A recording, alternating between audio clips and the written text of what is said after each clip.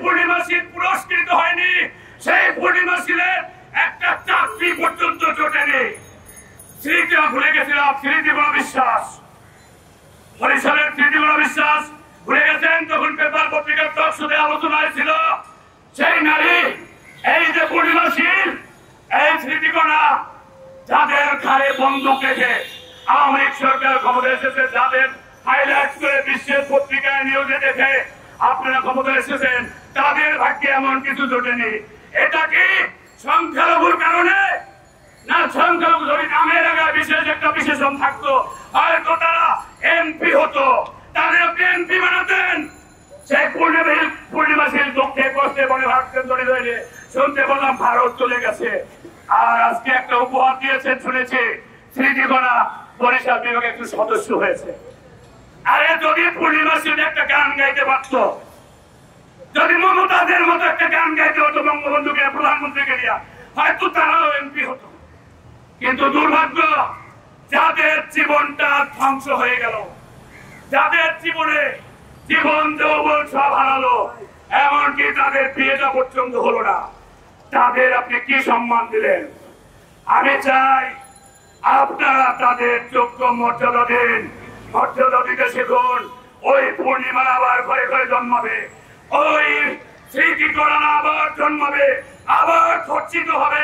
এই বাংলায় না ধরেন, কিন্তু সেই বিএনপি জামাতের আমলে শুধু ক্ষান্ত হয়নি পূর্ণিমা, ধর্ষিত হয়নি, এখনও হচ্ছে এখনও হচ্ছে। সুদৃষ্টি দিয়ে তাদের বাঁচার অধিকার করে দিন। আমাদের যেন রাস্তায় নামতে না হয়। ধন্যবাদ সবাইকে। আমরা এভাবে প্রতিনিয়ত বলি আমাদের স্মারকলিপি দিচ্ছি, কথা বলছি, আপনারা গুরুত্ব দিচ্ছেন না। আমরা বিচার না হওয়ার ডিভাইসের ষড়যন্ত্রের শিকার। আমরা এই বিচার না হওয়ার জন্য আমরা সর্বশেষ আপনাদেরকে সময় বেঁধে দিচ্ছি। যদি অনতি বিলম্বে ছোট ছোট বিষয়গুলো আপনারা বিচার না করেন, তার জন্য বড় যে পরিণতি হবে, তার দায়ভার আপনাদের বহন করতে হবে। আমরা বেশি দিন আর এই নির্যাতনের শিকার হব না।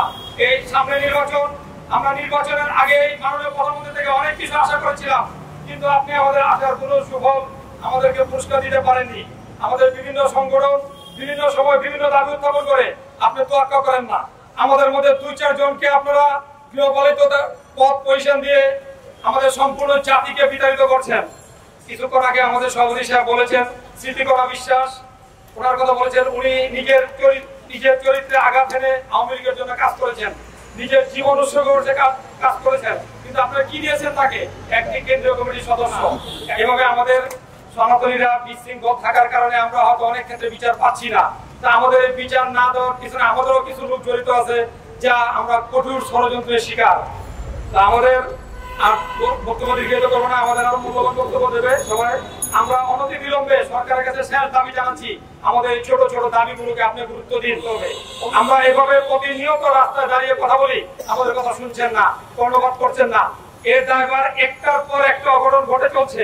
বিভিন্ন জায়গায় বিভিন্ন রকম অপকথা, আমাদের ধর্মীয় আগামী কথা হয়, তার সম্পূর্ণ লাইব্রেরি আপনাকে নিতে হবে এবং এটা একটা সংস্কৃত পরিচয় হয়েছে। আমরা সব ধর্মকে শ্রদ্ধা করি, সম্মান করি, ভালোবাসি।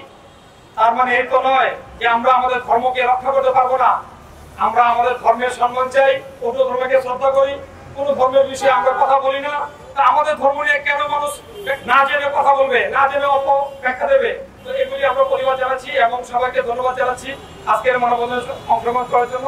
আমরা এই মানববন্ধন থেকে কঠোর আন্দোলন ঘোষণা করব এবং পরবর্তী আমাদের যারা আছে, তার আন্দোলনের প্রতিটা আন্দোলনে আমরা অংশগ্রহণ করব এবং যে কোনো মূল্যে হিন্দু ধর্মকে রক্ষা করতে হবে। ধর্মের ভিতরে লুকিয়ে থাকা দালালদের আমরা চিহ্নিত করব, তাদেরকে আমরা আগাতে দেবো না। ধন্যবাদ সবাইকে